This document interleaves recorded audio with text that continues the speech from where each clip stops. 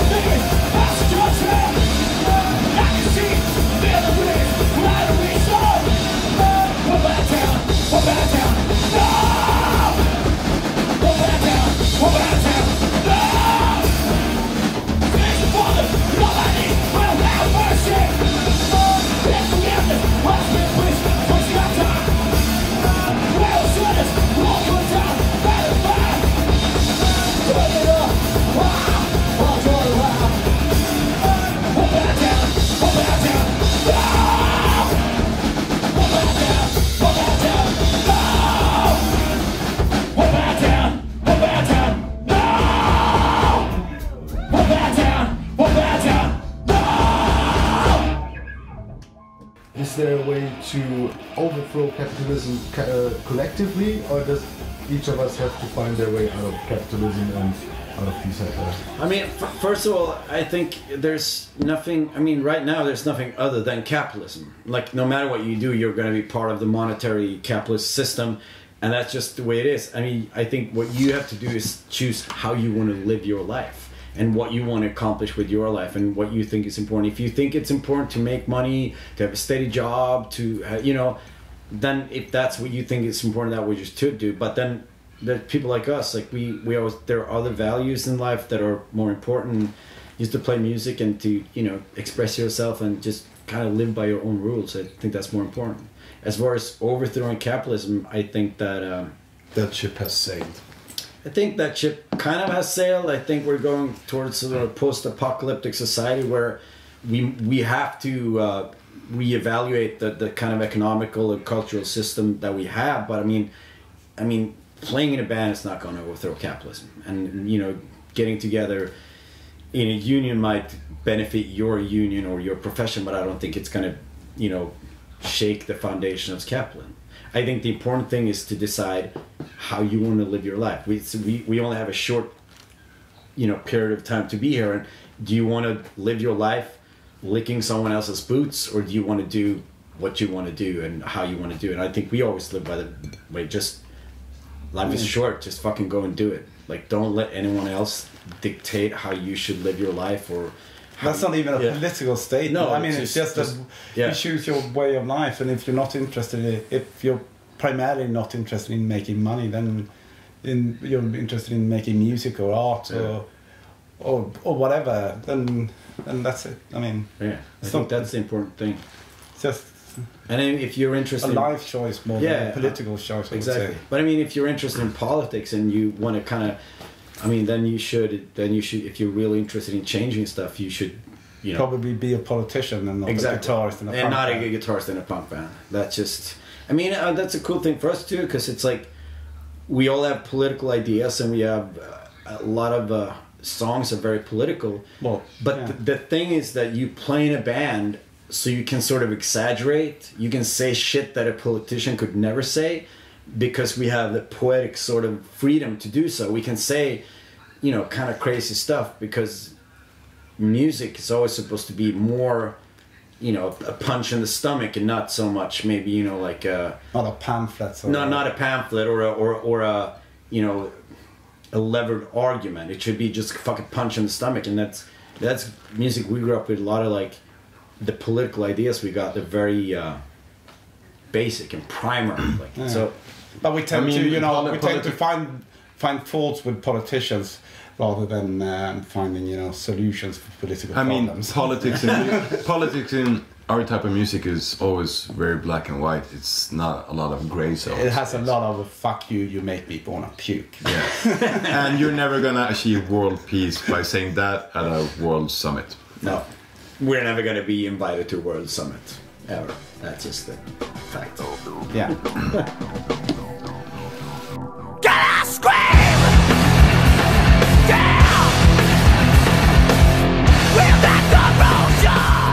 The central phrases is uh, one of the phrases that you are most famous for globally is "Can I scream?" Uh, my 70-year-old grandmother would like to ask you, why do you want to scream? because uh,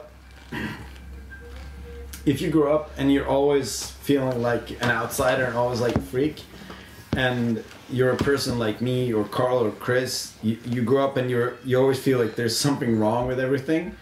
And uh, I, I was horrible at school. I couldn't get it i mean i didn't want to study and uh, i never saw myself getting a job where i could influence anything. So for us like punk rock was like the the ultimate form of expression because it made us we could be angry we could be pissed off we could be super weird and we could have our voices heard when i grew up i, I never thought that anyone would ever listen to anything i had to say. Like a working class kid you're like i'm just gonna grow up a nobody i'm gonna work at some dead-end job and that's gonna be life. And then I, we discovered punk rock so that's i mean it it was not so i mean you know yeah can i scream? But it's it's more of a like we should rephrase it and say i can scream. And that's the, that's one of the coolest things about punk rock that I- you can express yourself and you, it, it gave us a voice you know to to do something with our lives it took me far away from where i grew up not so much uh, uh, in in uh, where i live but but mentally it made me really like you know just close off from everything that I, I was taught and everything that I was supposed to be and i just made me into a completely different person So I'm more I'm more curious to why doesn't everybody want to scream? Yeah. So can you ask your grandmother why doesn't she want to scream? Yeah. smart And the answer is yes, yes, she can. exactly He wants to show off his Lickers t-shirt. So. so, Now it's done. Now we're presume. Oh! Dankeschön, Dankeschön. So, we've been, uh, we've been on tour for a week now. And we ended up playing a, a couple of festivals, which can be fun. We played something called the Monster Bash in Munich and Berlin, and then we played a festival called Groezrock in Belgium. And it was fun, it's good times, but it's good to come to a place like this there's like a Minor Threat hoodie over there. There's a Circle Jerks t-shirt over there. It's not only Millencolin merchandise. And we get to play with a hardcore. Yeah, we got to play with a hardcore band. Because, I mean, I like the Millencolin guys. They're friends of mine since, like, you know, I remember, this is a true story. They were on a label called Burning Heart Records. Do you remember that label? So some of you, ah, yeah, okay. You, you have all the records. What are you talking about? The No Funk catalog. I love it. That's what you're saying, not me. Yeah, sorry. Anyway, the, the, the, the boss of Burning Heart Records called me up when Millencolin released their first demo. And he called me, he's said, Dennis, what about these Millencolin? And this is what I told him. Don't sign them. No one's gonna care about that band. You know, 20 years later, AC4 is playing in front of a wall of Millencolin t-shirts. And I'm like, what the fuck happened? And uh, so I'm glad to see that you, it's, you know what I'm talking about. And uh, I was just gonna say, it's, uh, it's nice to be here at a real punk rock show. And if we would say, fuck Thatcher, everyone like, yeah, fuck Thatcher. If we would say that in front of Millencolin's crowd, they would be like, who is Thatcher? So this is a song. Let's go. Where are the kids? They're at the Millencolin show, having a great time. The old people are all here, talking to madmen from Sweden, talking bullshit.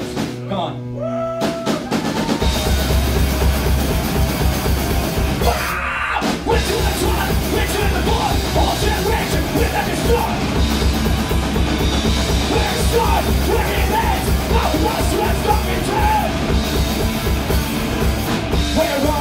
We're kids, we're kids, we're all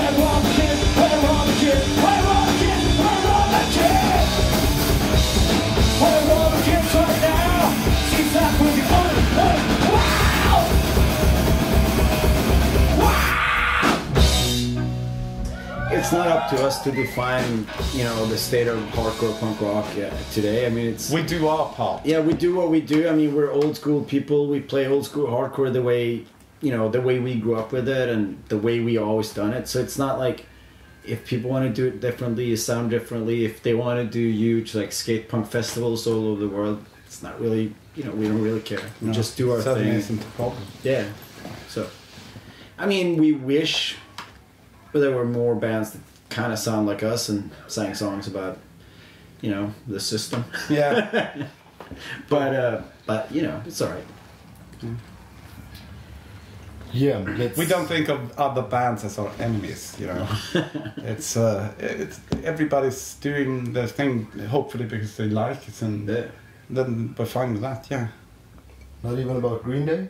No, Green I mean- is not the enemy. no, Green is not the enemy. I mean, that's that's Thatcher is the enemy. Yeah. yeah. I mean, you know, the Pope is the enemy, Yeah. and a lot of politicians they're the enemies, not the other bands. No, We're fine with any band. we're we we like. I mean, I We we usually get, agree uh, get along with uh, any band that plays electric guitar. yeah It, yeah. but once you But, meet but them, if they have synthesizers, yeah, you- then, that- that's mm, that's it. But, you know, the usual sort of if you're backstage at a festival, almost every band are like really Yeah. nice people and you get along really fine, even if, if they play something. You know, A- completely Angela different. Mer- Merkler, is that her name? She's the enemy. Yeah, yeah, she's the enemy. She's the enemy.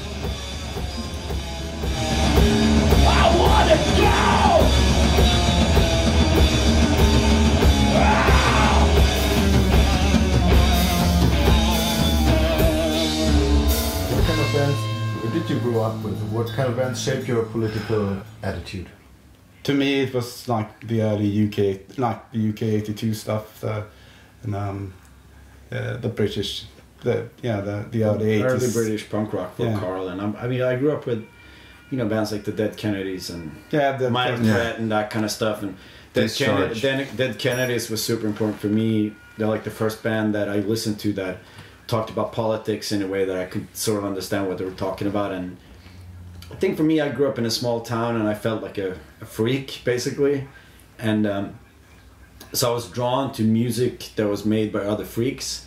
But I always thought that I'm I'm like the crazy person because I don't fit in the world. And then uh, I mean, a band that like that Kennedy's told me that uh, you're not the crazy person. Like the world is fucked up and crazy. I mean, yeah, you are crazy, but it's it's a good thing to be crazy. And so Dead Kennedys was really important for me. They're like the band that made me get into politics, Basically, I think they, they were really important to. Yeah. They were really big in Europe. Uh, as, Yeah. and, uh, and they they were an important to- intelligent. I mean, a lot of the like like the stuff we talked about, like the slogans and the kind of black and white, and a lot of that stuff works on a more um, basic level. But a band like the Dead Kennedys, they were actually intelligent, and they had the big posters in the mm. records, and Yeah, they also had a, Yeah. a, a good sense of humor about Yeah. it, mm. which made it sort of less preachy and more enjoyable. so, to me, to me also, since I'm a lot younger than these old fucks, is that when I grew up in the Umeå hardcore scene, like the local scene meant a lot to me. Buying the demos, like I mean, the first Refused demo, stuff like that was some of the first hardcore that I heard. Bes- like besides the American stuff. So I mean, I guess that early, very childish way of politics and just kind of you know, f- kind of formed my political view and stuff. It, which was very black and white. It was just boycott McDonald's, fuck society, kind of. yeah, it's not bad politics. No, it's not bad Still politics. It's just, it's just it's like, like I said, not that, not many political gray, not many gray zones. Yeah. Yeah, so but you can summarize our politics in fuck society. Yeah. Um, what is a hipster? Oh, we He knows- We don't know. I I know a lot of You uh, hipsters. you live in Stockholm. I live I in think people actually call you a yeah, hipster. I, people in the punk scene who hate me, they consider me a hipster. Why is that? I have no idea because I hang I hang out with hipsters. I guess I think I think um, the definition of the hipster is Yes. someone who's always first with the latest, who like they discover something and they consider themselves avant-garde and like a spearhead in Well, mm, culture, cutting culture, edge, cutting edge, and they discover something, and then when the rest of the crowd discovers it, the same thing, they abandon it and move on to the next thing because they always want to be first with the latest shit. yeah. And I think that's a That it, that definitely excludes all Yeah, of us yeah, from yeah. being hipsters. We have no idea what's going on. I'm sitting world. in my motor t-shirt. But the, the funny thing about subcultures, like you said, emo, is that recently the police force in Manchester in the UK has uh, started to regard um, crimes against subcultures as a hate crime. So if someone gets killed because they're an emo, it's considered a hate crime as the same as someone being killed because they're black or homosexual. And I don't know. I just wanted to say that. makes it Yeah, hard. yeah. Makes our work harder. Yeah, yeah. Uh, so killing hipsters uh, isn't as easy to, as it used to be. That took a turn. but you knew it would. It always does, doesn't it? Yeah. Last but not least, do you have any? Uh, you said we live in a post-apocalyptic society. Well, it's I- coming up. It's I coming up. think I think everyone who's 18 right now knows that. Maybe not on a conscious level, but they feel that. They, Yeah. Yeah. Do you have any words of hope or encouragement at the end of the interview for Yeah. our fellow Learn- musicians? No, just learn to Drive a survive and learn to Drive a tank. learn to shoot and And stockpile ammunitions. start building bunkers and just I'm just gonna sit over here. start building bunkers and just building up supplies of weapons, ammunition, and canned food, Yeah. and just And, you know, and prepare for the like Thunderdome society which is coming. Yeah. Mad Max is gonna be all over uh, our asses anytime soon. We hope.